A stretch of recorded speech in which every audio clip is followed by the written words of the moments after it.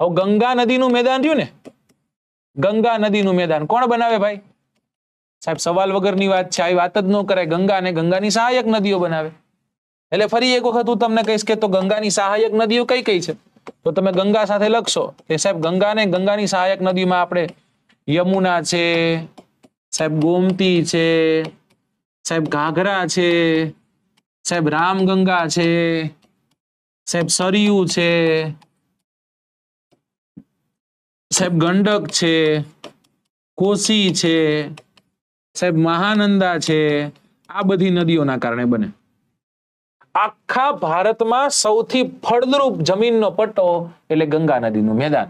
ને એટલું વિશાળ છે કે ત્રણ ભાગમાં વેચવું પડે. એકને કહીએ છીએ ઉપરી ગંગાનું મેદાન, એકને કહીએ છીએ મધ્ય ગંગાનું મેદાન અને એકને કહીએ છીએ નિમ્ન ગંગાનું મેદાન. ઉપરી ગંગાનું મેદાન, મધ્ય ગંગાનું મેદાન, નિમ્ન ગંગાનું મેદાન. એમાં સૌથી પહેલા કોના લગ્ન હોય? વ્યવહારિક વાત છે સાહેબ, ઉપરી ગંગાનું મેદાન. ઉપરી ગંગાનું મેદાન જ ખાલી કેવડું છે ને તમને કહું? કે ઉપરી ગંગાનું મેદાન પશ્ચિમ પૂર્વમાં પાંચસો પચાસ કિલોમીટર ફેલાયેલું છે.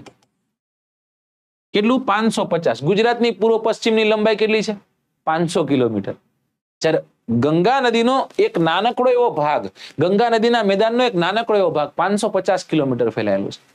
જ્યારે પૂર્વ પશ્ચિમ, તો કે પૂર્વ પશ્ચિમ ત્રણસો ને એસી કિલોમીટર જેટલું આ ફેલાયેલું છે. સૌથી પશ્ચિમ ભાગે ક્યાંક આપણને જોવા મળે, હા, તો પશ્ચિમ ભાગે જોવા મળતું છે તો ગંગાને મળનારી પશ્ચિમ તરફની નદી, તેમાં એક છે યમુના. યમુના અને ગંગાના કારણે આ મેદાન મુખ્ય બને છે. પણ એની સાથે સાથે તમે રામગંગા લઈ શકો એની સાથે સાથે તમે ગોમતી લઈ શકો. સાહેબ, મુખ્યત્વે આ મેદાન ક્યાં હશે? થોડોક એવો ઉત્તરાખંડનો ભાગ અને યુપીનો પશ્ચિમનો ભાગ. ઓકે સાહેબ, સમજી ગયા. યુપીનો પશ્ચિમનો ભાગ અને ઉત્તરાખંડનો થોડોક એવો ભાગ. જો ગંગા નદીમાંથી એક પ્રશ્ન પૂછાય છે એટલા માટે અહીંયા લખીએ છીએ આપણે કે ગંગા નદી કયા કયા ક્ષેત્રમાંથી કયા સ્થળેથી મેદાનમાં પ્રવેશે? તો આપણે કહેવાનું છે હરિદ્વારથી. ક્યાંથી હરિદ્વારથી? તો ગંગા નદીનું મેદાન હરિદ્વારથી ચાલુ થઈ જાય. ક્યાંથી ચાલુ થઈ જાય? હરિદ્વારથી તે ચાલુ થઈ જાય છે. આમાં આપણે ગંગા અને યમુના જ્યાં મળે એ જગ્યા પર આપણને એક દોઆબ જોવા મળ્યો જેને આપણે ગંગા યમુના દોઆબ કીધું. આ જ મેદાની વિસ્તારમાં આપણને બીજા અન્ય મેદાનો પણ જોવા મળે, જેમાં એક મેદાનનું નામ છે રોહિલખંડનું મેદાન. રોહિલખંડના મેદાનની સાથે સાથે આપણને આગ્રાનું મેદાન જોવા મળે. આ ખરેખર આમ જોઈએ તો યમુના નામની નદી બનાવે છે. કઈ નદી બનાવે છે? યમુના નામની નદી બનાવે. અહીંયા મુખ્ય લેવાતા પાકોમાં શેરડી છે, મકાઈ છે, ઘઉં છે, કઠોળ, સરસવ, શાકભાજી વગેરે જેવા પાકો અહીંયા ખૂબ સારી એવી માત્રામાં થતા આપણને જોવા મળે છે.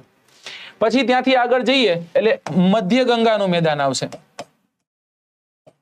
કયું મેદાન? મધ્ય ગંગાનું મેદાન. મધ્ય ગંગાનું મેદાન પણ કિલોમીટરમાં જોઈએ તો પાંચસો ને પચાસ હતું ને. આ છસો કિલોમીટર છે. ઓ બાપરે. છસો કિલોમીટર પૂર્વ પશ્ચિમની એની લંબાઈ અને ત્રણસો કિલોમીટર એની ઉત્તર દક્ષિણની લંબાઈ. ઓકે સાહેબ.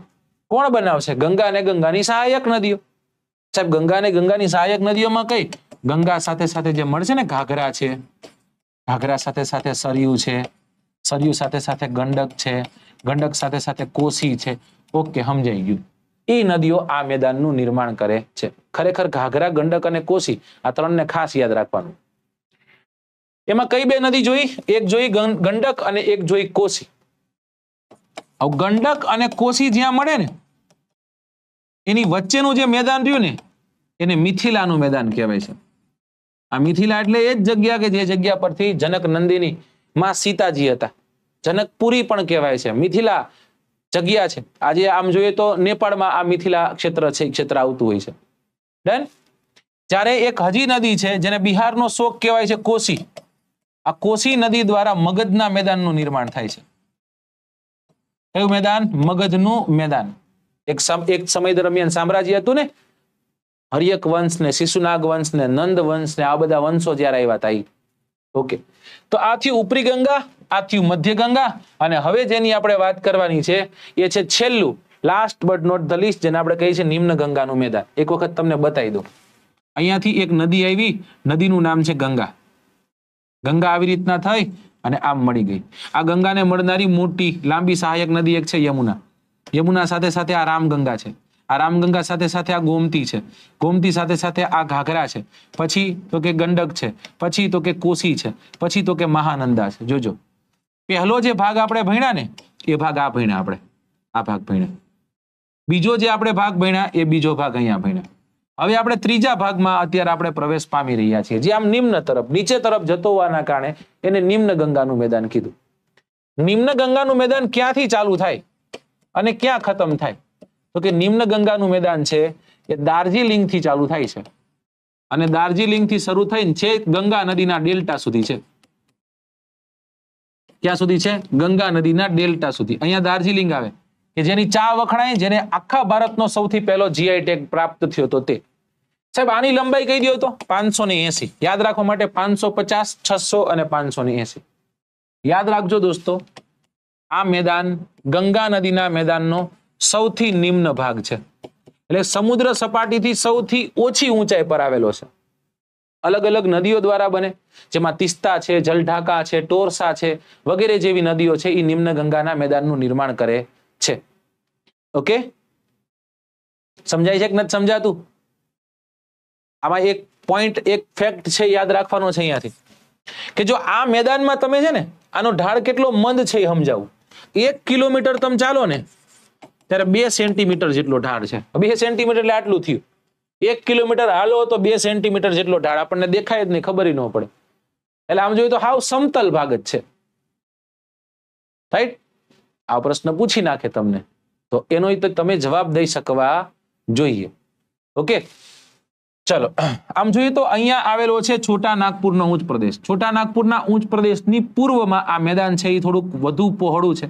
આ ક્ષેત્રને આપણે રાહર ક્ષેત્રના નામે ઓળખીએ છીએ. અહીંયાથી નીકળતી દામોદર નામની નદી, જે જૈન કોને મળે છે? જે જૈન મળે છે ગંગાની તે ગંગા તે આગળ જઈને અહીંયા નામ બદલી નાખે છે. એને આપણે શું કહીએ છીએ? હુગલી કહીએ છીએ. હુગલીને જઈને મળે છે. સાહેબ આખે આખો મેદાન ભારતમાં સર્વાધિક વસ્તી ગીતતા ધરાવતો છે. ભારતમાં સૌથી વધુ વસ્તી ધરાવતો આ આખો ભાગ આપણને જોવા મળે છે.